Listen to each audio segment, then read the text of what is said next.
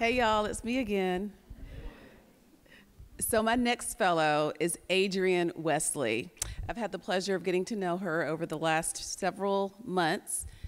We've done our fellowships together, our sessions together. She's taken them while she's doing swim lessons, working with kids, and not just any kind of kids. These are kids that have different abilities while she's doing aquatic and adaptive swim lessons. Adrienne Wesley of Swim Life Fitness.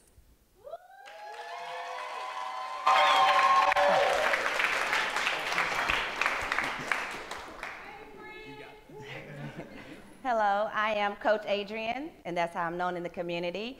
I am the founder of Swim Life Fitness. I have uh, the most unique opportunity to work with some of the most amazing swimmers here in Atlanta. Uh, this is Ty. I met Ty about three years ago, shortly after losing a limb to cancer. Ty is now currently a three uh, national three record holder for 100 free, 100 breast, and 100 IM. And this is Gage. Gage started swimming about a year ago. He couldn't swim, but now Gage is one of my best swimmers and um, one of my top swimmers in his eight and under school, uh, age group. So when you start talking about children with uh, special needs, Gage and Ty are not just amazing because they're on the top of their swim game. They're actually able to challenge themselves and get through life easily, going through their special needs. Um, most children that have autism, Down syndrome, uh, developmental delays, and uh, sensory challenges, they don't know how to swim. And that is actually very detrimental to them. It's detrimental to them because drowning is the number one cause of death amongst children with autism and sensory disorders. They are actually lured to water because of their sensory, and so it's calming, and so that's what they do. And not, not knowing how to swim, dangerous, right? So our focus at Swim Life Fitness is we are creating a safe space and healthy relationship between children with special needs and the water. And we do this in three ways. We have a one-on-one individual coaching. We have group coaching where we combine um, physical therapy and aquatics. And we have our Special Olympic swim team. Over the last 12 to 18 months, we've actually worked with 180 children. 84% actually know how to swim and have increased active mobility.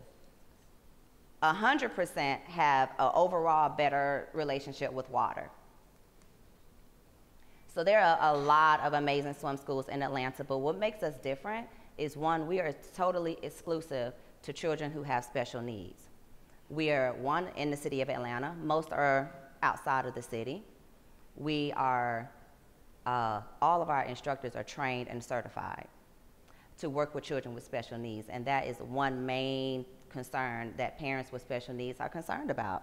Putting your children, especially around water and unsafe, you know, people who just don't know how to take care of them. And we are accessible, meaning we make sure that our services are accessible to everyone across the board. And we're able to do that with the help of our partners. They've come in, volunteered, been actual physical therapists, provided space, um, equipment, so much more. We couldn't do it without them. But right now, we need your support. We are looking to raise $25,000 in the next six to 12 months.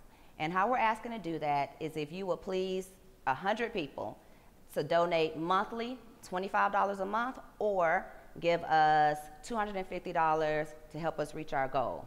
So the next thing that we need is a pool. We need a home. And one thing if you know about children with special needs is they need consistency.